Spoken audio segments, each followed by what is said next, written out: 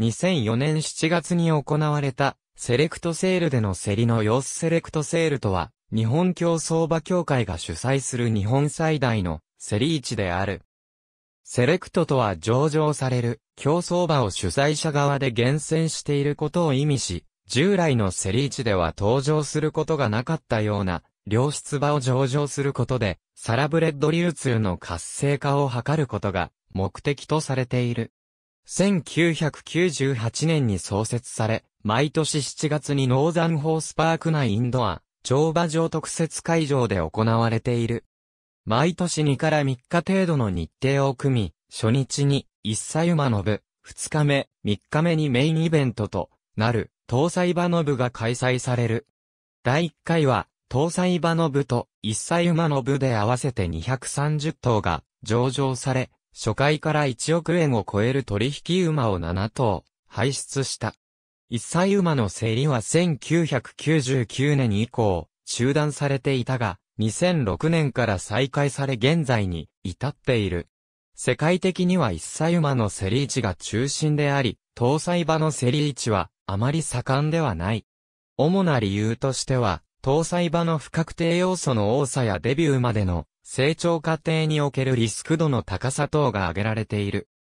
しかし、このセレクトセールでは、搭載馬の部に特に力を入れており、上場馬に日本国内外の主要重賞競争を制したサラブレッドの子孫が数多く出品される世界最高級の搭載馬の競り市とされ、日本国外のバイヤーや競馬、牧畜関係者が多数来日し、注目を集めている。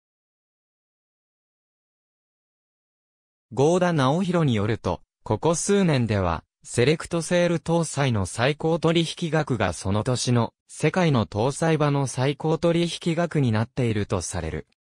2006年には、トゥザビクトリーの2006が搭載馬としては、世界最高額の6億円で落札された。日本競走馬協会は、八代大グループが中心となって設立されたため、会場もノーザンホースパークとなっている。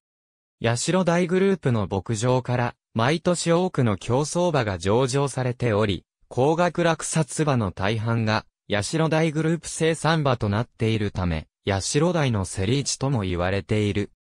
中央競馬での活躍馬の3区も多く上場され、顕著な成績を収めた競走馬が、種ボバへの転身後の初年度3区が上場されるときは、一般のメディアでもその話題が取り上げられている。近年はより上質な搭載場を供給するために、選定も厳しくなっているとされる。搭載場に関しては、毎年落札率が60%を超えており、過去最高は2005年の80.1%である。